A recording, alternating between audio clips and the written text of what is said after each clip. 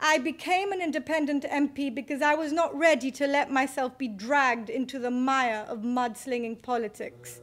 I will therefore not respond to insults and petty accusations thrown at me in this House, nor will I engage with social media bullying, through fake profiles or not, not even, for example, with the leader of the opposition who hides behind the profiles of members of our community to fight his battles against me.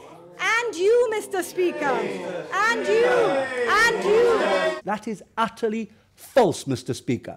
And therefore, if she has any evidence in relation to that, she should bring it. Or she, what she can do is not hide behind parliamentary privilege and therefore make the allegations outside where at least I can then basically challenge her, Mr. Speaker. It is a pity that at the end of nearly four hours of excellent parliamentary debate, anyone, by an injudicious word, should lower the standard of, and bring the House into disrepute.